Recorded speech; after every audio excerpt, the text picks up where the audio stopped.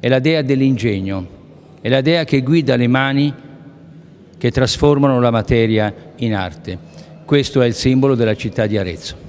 La Minerva è tornata a casa. La statua bronzea raffigurante la dea dell'ingegno, ritrovata ad Arezzo nel 1541, è tornata per un evento unico ed irripetibile, fare da madrina ad una giornata storica per la città dell'oro. Non c'era miglior modo per inaugurare la Casa dei Tesori di Arezzo, un percorso espositivo dedicato alle creazioni dell'oreficeria, ospitato a Palazzo di Fraternita.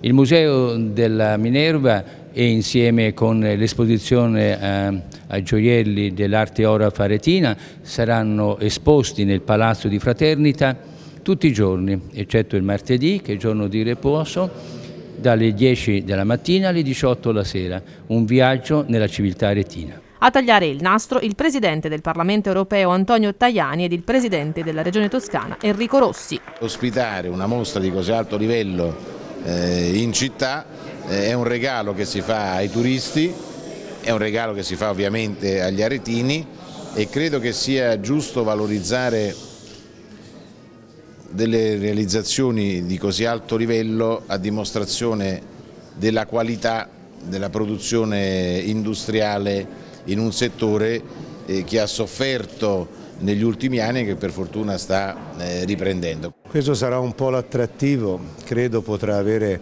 una valenza di carattere nazionale, europeo e anche oltre, quindi diventerà un motore di attrazione anche di un turismo che Arezzo senz'altro si merita.